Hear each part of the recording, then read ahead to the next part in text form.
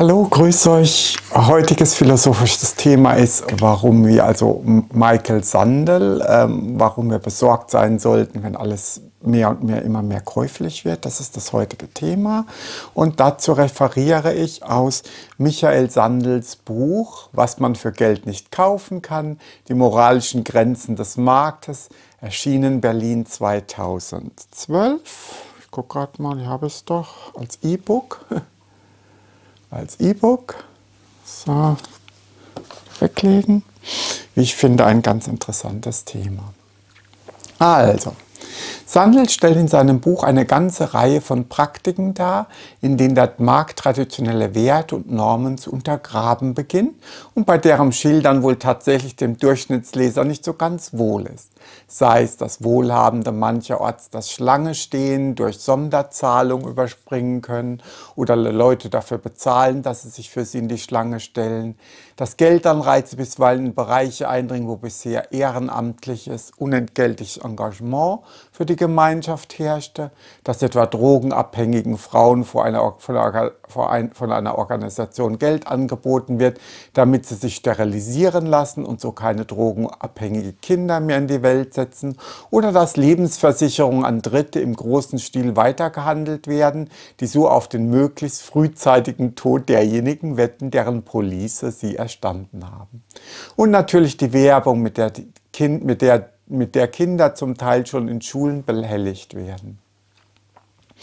Letztlich möchte der Autor durch seine teils drastischen Beispiele zu der Einsicht bringen, nein, ich wünsche es nicht, in einer Gemeinschaft zu leben, in der alles käuflich ist und es gibt Werte, die man für Geld nicht kaufen können sollte. Er bringt aber nicht nur seine drastischen gesellschaftlichen Beobachtungen einfach nur so vor, sondern versucht auch tatsächlich philosophisch rationale Begründungen dafür zu finden, warum unser zunächst vielleicht nur unbestimmtes Gefühl, dass hier etwas nicht richtig ist, nicht grundlos ist. Zum einen das Argument der Gleichheit oder der Fairness. In einer Gesellschaft, so Sandel, in der alles käuflich ist, haben es Menschen mit, bescheidenen, mit bescheideneren Mitteln schwerer, denn je mehr nur mit Geld zu haben ist, desto mehr fällt auch der Reichtum ins Gewicht. Dabei geht es jetzt aber nicht um Luxusgüter wie Yachten, Sportwagen und teure Immobilien, sondern um Güter wie politischen Einfluss, gute medizinische Versorgung, eine Wohnung in einer guten Wohngegend oder Zugang zu hervorragender Bildung. Dort, wo alles von Wert auch gekauft werden kann, macht nur noch allein der Besitz von Geld den Unterschied. Durch die zunehmende Kommerzialisierung wird die Kluft zwischen Arm und Reich größer, aber auch der Stachel der Ungleichheit wird weiter zugespitzt. Und nun zum zweiten Grund, warum wir nicht alles zur Handelsware machen sollten. Nach Sandel zersetzt der Markt tendenziell die Werte. Bekommen alle guten Dinge des Lebens einen Preis, können sie korrumpiert werden. Denn Märkte teilen nicht nur Güter zu, sondern drücken auch bestimmte Einstellungen ihnen gegenüber aus und können diese verstärken. So füllt zwar etwa die Versteigerung von Studienplätzen erst einmal die Kassen der Universität, schmälert aber andererseits dessen Integrität und den Wert der dort erzielten Abschlüsse. Sandel stellt fest, dass wenn wir beschließen, bestimmte Güter zum Verkauf freizugeben, dann zeigen wir damit an, dass es in Ordnung ist, sie als Waren und Werkzeuge für Profit und Gebrauch zu behandeln. Doch damit werden nicht alle Güter angemessen bewertet. Als Beispiel nennt er etwa die Sklaverei, wo Menschen als Waren degradiert werden. Auch erlauben wir zum Beispiel nicht äh, den Kinderhandel, denn dieser drückt eine falsche Art und Weise aus, Kinder wertzuschätzen. Sie sind keine Handelsware, sondern brauchen Liebe und Fürsorge. Ähnliches gilt ebenso zum Beispiel für Bürgerpflichten, die eine Verantwortung gegenüber dem Gemeinwesen ausdrücken. So geht es zum Beispiel gar nicht, seine Wahlstimme zu verkaufen. Das zeigt, dass manche Dinge herabgewürdigt und beschädigt werden, wenn man sie in Waren verwandelt. Wir müssen, so Sandel, also immer wieder darüber nachdenken, wie wir die fraglichen Güter zu bewerten haben. Dies sind also keine bloßen ökonomischen, sondern vielmehr moralisch und politische Fragen. Dabei drischt der Autor aber nicht nur auf den Markt ein, sondern stellt auch immer wieder die Wichtigkeit des Marktes für unser Wohlbefinden heraus und er weiß um die Dilemmata, die sich aus einem um sich greifen der Ökonomie ergeben können. Dass dadurch eben oft mehr Geld verfügbar wird, um auch öffentliche Einrichtungen, zum Beispiel durch Werbung, besser finanzieren und erhalten zu können. Aber immer wieder mit dem Menetekel der Unfairness und Korrumpierung einhergehend.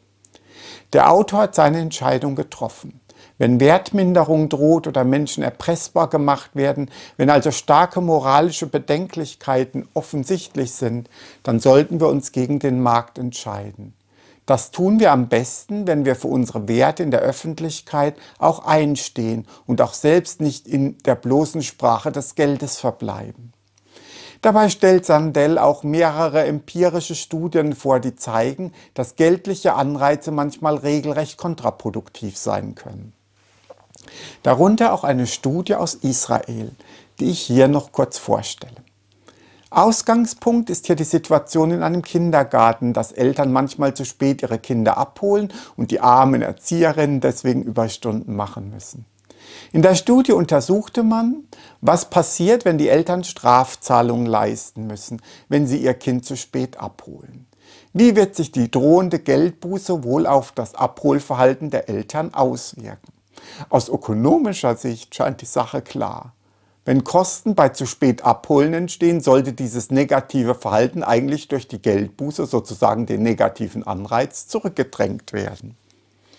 Überraschenderweise waren die Studienergebnisse dazu aber konträr. Das zu spät abholen nahm nämlich nach Einführung der Geldbuße deutlich zu. Der Grund? Vorher schlug bei den Eltern immer das soziale Gewissen an, wenn, die wenn sie schuldig geworden waren. Nun aber meinten sie eben für ihr Fehlverhalten einen angemessenen Betrag beglichen zu haben und also für die zusätzliche Arbeitsbelastung eine ausreichende Vergütung geleistet zu haben. Aus der Sorge um das Gemeinwohl ist sozusagen eine bezahlte Dienstleistung geworden. Man hat dann versucht, durch Abschaffen der Strafgebühr den alten, besseren Zustand wiederherzustellen. Doch es zeigte sich, dass sich die Verhältnisse, die sozusagen durch geldliche Korrumpierung entstanden waren, sich nur wieder sehr zögerlich besserten.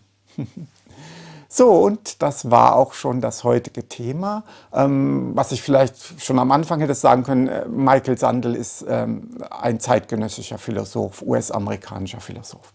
Ich wünsche euch mit äh, noch einen schönen Tag und viele gute Gedanken. Tschüss.